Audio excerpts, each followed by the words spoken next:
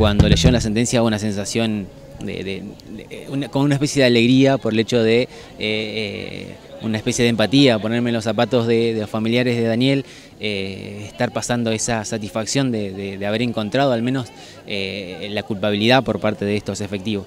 Eh, nosotros seguimos en la lucha, pero es como que de alguna manera esa luz de esperanza se incrementa porque después de siete años la justicia llega. más allá de que estos involucrados sean policías, no quita de que en el caso de Lucas se pueda llegar a resolver.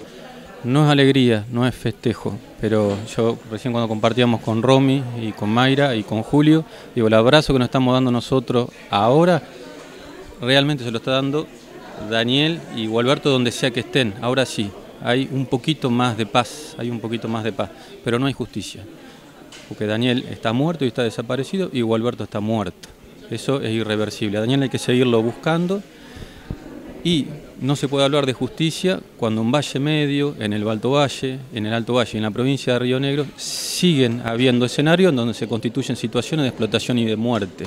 Entonces, de nada sirve semejantes sacrificios si se siguen reproduciendo en la vida cotidiana de las personas acciones violentas entre de la parte privada o de la parte pública o de la complementación de ambas. Pero bueno, hoy es un día para darnos un abrazo y sentir un poquito más de paz, pero hay que seguir trabajando. Y a Daniel hay que seguirlo buscando, hay que encontrarlo.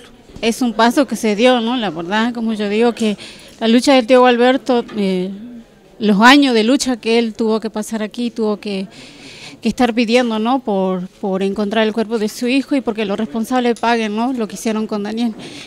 Y hoy todo, todo lo que nosotros, porque tío Alberto se fue sabiendo lo que pasó con Daniel. Nada fue oculto. ¿Por qué te digo? Porque él, ¿Por qué él se fue sabiendo lo que hicieron con él? Porque habían testigos que llegaban a la carpa y, con miedo, con la capuchita eh, de su gorrita tapándose, eh, porque nosotros acampábamos frente de la carpa, del jugado de Chuele. Entonces, ¿qué había en el jugado? Había policías.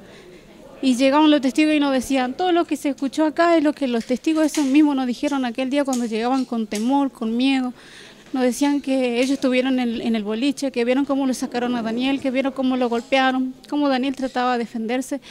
Entonces, hoy se dio un paso más, ¿no? Y, y nos quitaron a, Daniel y también nos quitaron a Tío Alberto.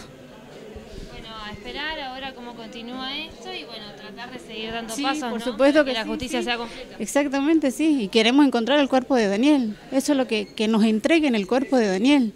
Eso es lo que nos falta.